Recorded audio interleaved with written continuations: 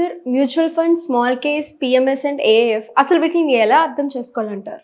యాక్చువల్గా ఏంటంటే అండి మనకి మీరు అడిగినట్టు మ్యూచువల్ ఫండ్స్ కావచ్చు స్మాల్ కేస్ కావచ్చు పిఎంఎస్ కావచ్చు ఏఎఫ్ కావచ్చు. ఇవన్నీ కూడా సెబీ ఆథరైజ్డ్ ప్రొడక్ట్స్. అయితే మనం మీరు ఏదైనా బ్యాంకింగ్ షాప్కి వెళ్ళారనుకోండి జ్యువెలరీ షాప్కి వెళ్ళారనుకోండి జ్యువెలరీ షాప్లో మనకి ఏముంటాయి? రింగ్స్ ఉంటాయి. రింగ్స్ కమ్మలు ఉంటాయి. అదొక కేటగిరీ. అలాగే బ్యాంగిల్స్ ఉంటాయి. అదొక కేటగిరీ. నెక్లెస్ ఉంటుంది. చిన్న నెక్లెస్ అదొక కేటగిరీ ఇంకా వడ్డాణం ఉంటుంది అదొక కేటగిరీ అన్నిట్లో కామన్ ఉంటుంది గోల్డే ఈ రింగ్స్ అనేది చూసారా? అవి మ్యూచువల్ ఫండ్స్ చిన్న కేటగిరీ ఈ గాజులు ఉన్నాయి కదా బ్యాంగిల్స్ అది స్మాల్ కేస్ ఈ షార్ట్ నెక్లెస్ అనేది చూసారా? నెక్లెస్ అది పిఎంఎస్ ఇంకా వడ్డడం ఏఎఫ్ చూస్తే ఎట్లయితే అన్నింటిలో కామన్గా గోల్డ్ ఉందో ఇక్కడ కూడా మ్యూచువల్ ఫండ్స్లోనూ స్టాక్సే స్మాల్ కేస్లోనూ స్టాక్సే పిఎంఎస్లోనూ స్టాక్సే ఏఎఫ్లోనూ స్టాక్సే కామన్ అన్నింటిలోనూ ఈక్విటీయే ఉంది. అన్నింటిలో స్టాక్సే ఉన్నాయి. మనకి ఎట్లయితే గోల్డ్ రేట్ పడితే అన్ని ఆర్మెంట్స్ పడతాయో గోల్డ్ రేట్ పెరిగితే అన్ని ఆర్మెంట్స్ కాస్ట్ పెరుగుతుందో అట్లాగే మనకి స్టాక్ మార్కెట్లో స్టాక్ మార్కెట్ పడిందా? మ్యూచువల్ ఫండ్స్ పడతాయి పిఎంఎస్ పడుతుంది స్మాల్ కేస్ పడుతుంది ఏఎఫ్ పడుతుంది. పెరిగితే అన్నీ పెరుగుతాయి. సో డిఫరెన్స్ అదేనండి. ఇండైన్ అన్నిట్లో కామన్గా స్టాక్సే ఉంటాయి. కాకపోతే డిఫరెన్స్ ఎక్కడ వస్తుంది అంటే క్వాలిటీ ఆఫ్ స్టాక్స్. అది మెయిన్గా వస్తుంది. ఇప్పుడు చూడండి పిఎంఎస్లో మనం చెప్తున్న మొదటి నుంచి కూడా క్వాలిటీ ఆఫ్ స్టాక్స్ ఉంటాయని ఫండ్ మ్యాచ్ డెడికేటెడ్గా వర్క్ చేస్తాడని అందులో volume of volume of size తక్కువ ఉంటుంది పిఎంఎస్లో చూడండి మ్యూచువల్ ఫండ్స్లో చాలామంది మనం చెప్తాం మనం సార్ ట్వంటీ పర్సెంట్ సిఏజిఆర్ వస్తుంది అని. ట్వంటీ పర్సెంట్ సిఏజిఆర్ వస్తుంది అనగానే మ్యూచువల్ ఫండ్స్లో కూడా వస్తుంది కదా twenty percent CAGR thirty percent CAGR mutual funds కూడా వస్తుంది కదా అంటారు. కొంతమంది చెప్తారంటే మనం పిఎంఎస్లో సెవెంటీ పర్సెంట్ వస్తుంది అంటే కాంట్ స్మాల్ క్యాప్ కూడా సెవెంటీ పర్సెంట్ రిటర్న్ ఇచ్చింది అంటారు. మ్యూచువల్ ఫండ్స్లో మనం పిఎంఎస్ ఎందుకు రావాలి అన్న క్వశ్చన్ చాలా మందిలో మైండ్లో ఉంది. ఇప్పుడు చూడండి అన్నిటితో కంపేర్ చేస్తే రిస్క్ కూడా చూడాలి. క్వాంట్ స్మాల్ క్యాప్ అది మ్యూచువల్ ఫండ్ కేటగిరీ అది సెవెంటీ పర్సెంట్ రిటర్న్ ఇచ్చింది. Quant small cap seventy percent return ఇచ్చింది కానీ అది స్మాల్ క్యాప్ కేటగిరీ అంటే రిస్క్ ఎంత ఉంది అంటే టూ హండ్రెడ్ పర్సెంట్ రిస్క్ ఉంది. ఎప్పుడైనా గుర్తుంచుకోండి స్మాల్ క్యాప్లో రిస్క్ ఎక్కువ ఉంటుంది. So two hundred percent risk తీసుకొని మనం సెవెంటీ పర్సెంట్ ఇచ్చింది. కానీ పిఎంఎస్లో చూస్తే మనం లాస్ట్ ఎపిసోడ్లో చెప్పుకున్నట్టు ఎన్జే పిఎంఎస్ కానీ ఐసిఐసిఐ వాళ్ళ పిఎంఎస్ కానీ లేకపోతే అబాకస్ పిఎంఎస్ కానీ ఇవన్నీ స్మాల్ క్యాప్స్లో ఇన్వెస్ట్ చేయాలి స్మాల్ క్యాప్లో ఇన్వెస్ట్ చేయాలి. కేవలం లార్జ్ అండ్ మిడ్ క్యాప్లో ఇన్వెస్ట్ చేసి సెవెంటీ పర్సెంట్ రిటర్న్ ఇచ్చారు. అంటే ఇక్కడ రిస్క్ తగ్గిపోయింది రిటర్న్ పెరిగింది. సో కాబట్టి మనకి ఏంటంటేనండి మ్యూచువల్ ఫండ్స్కి పిఎంఎస్కి ఏఎఫ్ కంపేర్ చేయకూడదు.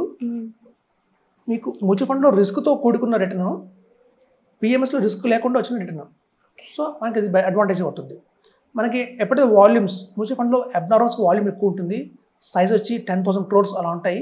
సో ఫండ్ మేనేజర్కి ఏంటంటే అంత ఈజీగా మేనేజ్ చేయలేడు కాబట్టి రిటర్న్స్ తక్కువ వస్తాయి. ఇంకోటి ఏంటంటే మ్యూచువల్ ఫండ్స్లో వాల్యూమ్స్ ఎక్కువ ఉంటాయి కాబట్టి మనకి ఎక్స్పెన్స్ రేషియో తక్కువ ఉంటుంది. One point seven five one point five ఉంటుంది. వేరాజ్ ఏ పిఎంఎస్ స్మాల్ కేస్లో వాల్యూమ్ చాలా తక్కువ ఉంటుంది. కేవలం five hundred crores six hundred crores ఉంటుంది కాబట్టి ఇక్కడ ఎక్స్పెన్స్ రేషియో కొంచెం ఎక్కువ ఉంటుంది. టూ పాయింట్ ఫైవ్ పర్సెంట్ ఉంటుంది. కాబట్టి బేసిక్గా డిఫరెన్స్ ఇదేనండి. అన్కంపారబుల్ మన కనుక రిటర్న్స్ ఎక్కువ రావాలి అంటే కనుక లంసంగా ఇన్వెస్ట్మెంట్ చేయాలి అంటే మాత్రం మనకి PMS is the best option చెప్తున్నాం. గత ఎపిసోడ్లో మనం చెప్పుకున్నట్టు Nippon India growth fund is the best option అండి. నిప్పాన్ ఇండియా గ్రోత్ ఆప్షన్లో మనం చెప్పాం ట్వంటీ ఇయర్స్ బ్యాక్ లంసంగా ఎవరైతే ఇన్వెస్ట్ చేశారో ట్వంటీ ఫైవ్ ల్యాక్స్ ఇవాళ టెన్ క్రోర్స్ వచ్చింది టెన్ క్రోర్స్. ఆ రోజు ఫిఫ్టీ ఫిఫ్టీ ల్యాక్స్ ఇన్వెస్ట్ చేస్తుంటే ట్వంటీ క్రోర్స్ వచ్చిండేది సో అలాంటి ఒక్క నిప్పాన్ గ్రోత్ ఫండ్ ఇచ్చింది. మీరు అలాగే మ్యూచువల్ ఫండ్స్లో చాలా మంది మనం చేసే పొరపాటు ఏంటంటే ఒక ఫండ్లో వేయం సేఫ్స్ క్రెడిట్ కోసం మూడు ఫండ్లలో పెడతాం. అదే twenty years back HDFC top two హండ్రెడ్లో వేసి ఉంటాయి అది లార్జ్ క్యాప్ కేటగిరీ కింద వచ్చింది ట్వంటీ ఫోర్ ల్యాక్స్ పెడితే అందులో ఇవాళ సిక్స్ క్రోర్స్ వచ్చింది వాల్యూ. సిక్స్ క్రోర్స్. అదే ఆదిత్య బిర్లా సన్ లైఫ్ వాళ్ళది ఫ్రంట్ లైన్ ఈక్విటీ ఫండ్ ఉందండి. ట్వంటీ ఇయర్స్ బ్యాక్ ఎవరైతే ట్వంటీ ఫోర్ ల్యాక్స్ అందులో పెట్టారో ఇవాళ దాని వాల్యూ వచ్చి ఫైవ్ ల్యాక్స్ ఫిఫ్టీ థౌసండ్ ఉంది.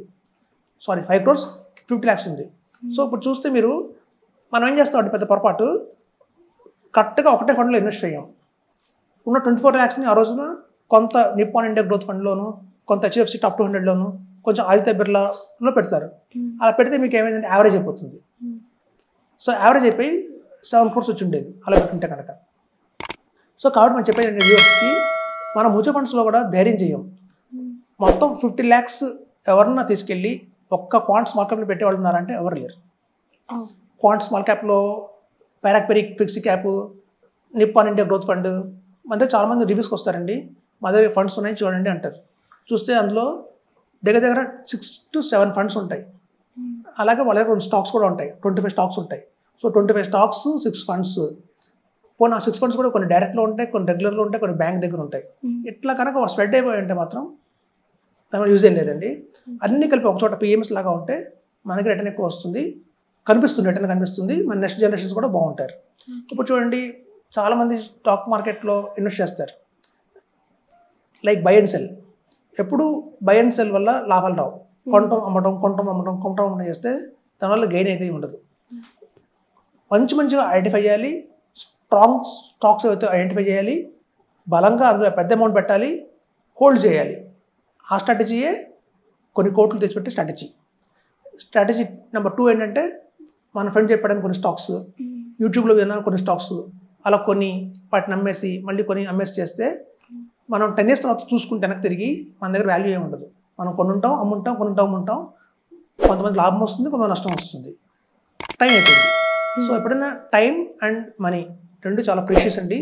ఒకసారి పోయాయంటే మళ్ళీ తిరిగి రావు కాబట్టి మనం కరెక్ట్గా ప్రాపర్గా ఈ వెల్త్ని క్రియేట్ చేసుకోవాలి అంటే మాత్రం this only best strategy buy hold sell locket ఇంజిన్ వల్ల చేసిన అదే వారం బఫెట్ చేసిన అదే. సో కాబట్టి మనం చెప్పేది ఏంటంటే వ్యూర్స్కి ఈ స్ట్రాటజీని ఫాలో అవ్వండి. ఈ స్ట్రాటజీ మనకు మంచిగా అవైలబిలిటీలో ఉన్నది ఏదో స్మాల్ కేస్లో అవైలబిలిటీలో ఉంది లేదా పిఎంఎస్లోనే అవైలబిలిటీలో ఉంది. ఈ స్ట్రాటజీ అనేది ఏదైతే బై హోల్డ్ సెల్ స్ట్రాటజీ ఇది బాగా వర్కౌట్ అయింది. మనం చూసాం ఒక ట్వంటీ ఇయర్స్గా చూసాం ఇవే మంచి రిటర్న్స్ వస్తున్నాయి. కాబట్టి మనం చెప్తున్నాం. స్ట్రాంగ్గా చెప్తున్నాం. ఇది ఒక బెస్ట్ ఆప్షన్ ఇప్పుడు చాలామంది buy sell buy sell buy sell చేస్తారండి. అలా వాటి వల్ల ఏమీ లాభం ఉండదు. మనం అవుట్ ఆఫ్ హండ్రెడ్ టైమ్స్ కొనున్నా కూడా ఆల్మోస్ట్ సిక్స్టీ టైమ్స్ మనం ఫ్లాప్ అయి ఉంటాం. ఫార్టీ టైమ్స్ మనం గెలిచి ఉంటాం. సో యావరేజ్ అయిపోతుంది.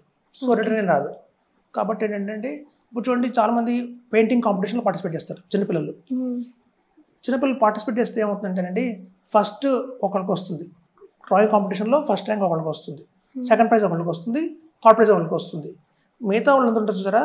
వాళ్ళు కూడా సర్టిఫికేట్ ఇస్తారు పార్టిసిపేషన్ సర్టిఫికేట్. ఎందుకంటే ఎంకరేజ్ చేయడం కోసం. అంటే అసలు డ్రాయింగ్ వేయ లేని వాళ్ళకంటే వీళ్ళు నయం. కొంచెం పార్టిసిపేట్ చేశారు అట్లీస్ట్ అని చెప్పి పార్టిసిపేషన్ సర్టిఫికేట్ వస్తుంది. అట్లాగే మనం ఈ గ్రో యాప్లో ఓపెన్ చేసినా జీరోదో అకౌంట్ ఓపెన్ చేసినా మనకు వెల్త్ క్రియేట్ కాదు. అట్లీస్ట్ పార్టిసిపేషన్ సర్టిఫికేట్ వస్తుంది అంతే. ఓకే మనం కూడా ఈక్విటీలో పార్టిసిపేట్ చేసాం. మనం షేర్లు కొన్నాం మనం అమ్మాం. ప్రాఫిట్ అయితే ఉండదు. ప్రాఫిట్ అయితే ఉండదు. సో అట్లా మనం కాకుండా ఉండాలి అంటే number one number two number three prizes తెచ్చుకోవాలి అంటే మాత్రం పిఎంఎస్ స్మాల్ కేస్ లాంటి వాటిలో ఇన్వెస్ట్ చేస్తే రిటర్న్స్ బాగా వస్తాయి. ఓకే అండ్ పైగా అన్నిట్లో ది బెస్ట్ అంటే పిఎంఎస్ఐ అట్లా బెస్ట్ పిఎంఎస్ ఓకే సార్ చాలా విషయాలు చాలా క్లారిటీ ఇచ్చారు సార్ అండ్ వ్యూవర్స్ చూసారు కదా మీరు కూడా మీరు కానీ వెల్తీ చక్రధర్ గారి కన్సల్టేషన్ కావాలి అనుకుంటే కింద కనిపిస్తున్న డిస్ప్లే నెంబర్కి కాంటాక్ట్ చేయండి. థ్యాంక్ యూ అందరూ నమస్కారం అండి. నా వెల్లి చక్ర ఛానల్ని సబ్స్క్రైబ్ చేసుకున్న ప్రతి ఒక్కరు థ్యాంక్స్ చెప్పుకుంటున్నాను. అలాగే నా వెల్లి చక్ర ఛానల్లో మనం స్టాక్స్ గురించి మ్యూచువల్ ఫండ్స్ గురించి ఎస్టేట్ గురించి హెల్త్ ఇన్సూరెన్స్ గురించి ప్రతి ఒక్కరికి ఉపయోగపడే సబ్జెక్ట్స్ మనం తీసుకొస్తున్నాం కాబట్టి అది మీకు మీ ఫ్రెండ్స్కి మీ రిలేటివ్స్కి ఎంతో ఉపయోగపడుతుంది కాబట్టి లైక్ చేయండి సబ్స్క్రైబ్ చేయండి షేర్ చేయండి. మీకు ఏమైనా సందేహాలు ఉంటే ఈ కింద ఉన్న స్కూల్ నెంబర్లో కాల్ చేసి నన్ను కాంటాక్ట్ అవ్వచ్చు. Thank you